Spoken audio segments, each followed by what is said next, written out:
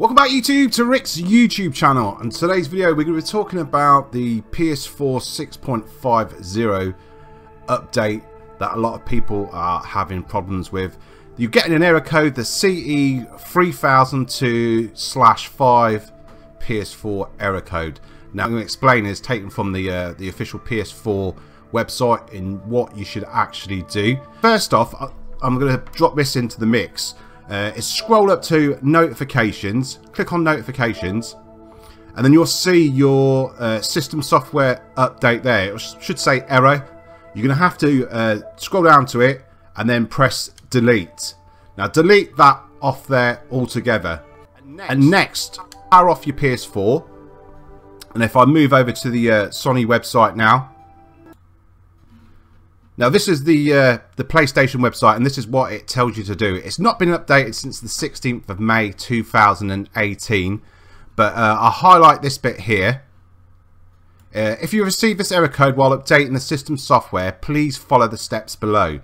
On your PS4 system go to notifications and delete an update notification. We've just deleted that. Turn off your PS4 system. Hold the power button until you hear two beeps.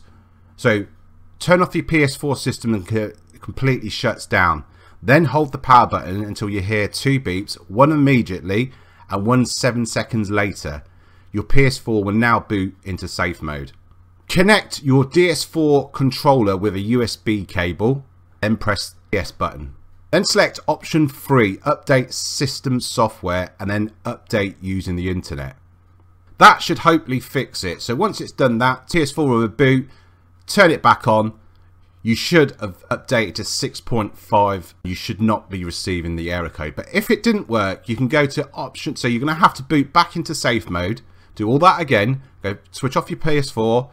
Hold the power button down until you hear the two beeps. And then select option 5 which will rebuild the database and give that a try. So once it's rebuilt the database, try and update to the system software in safe mode again so select option 3 and give that a go and see if you can update it that way. A lot of people saying it's referring down to a broken hardware issue and the hardware issue is the Blu-ray drive. Now people are saying it's working perfectly before the update but for some reason this update checks your hardware as well and it's coming back with a lot of errors. But that's my way of I, how I fix mine. It's not going to work for everyone. There's still loads of people that have done this and are still having the, so, uh, the same problem. It's down to Sony. They need to uh, release a patch so we can get past this error code. But drop any comments in the comment box below. Let me know if it works. Give the video a like, subscribe, and I'll get back to you with another one. Thanks for watching.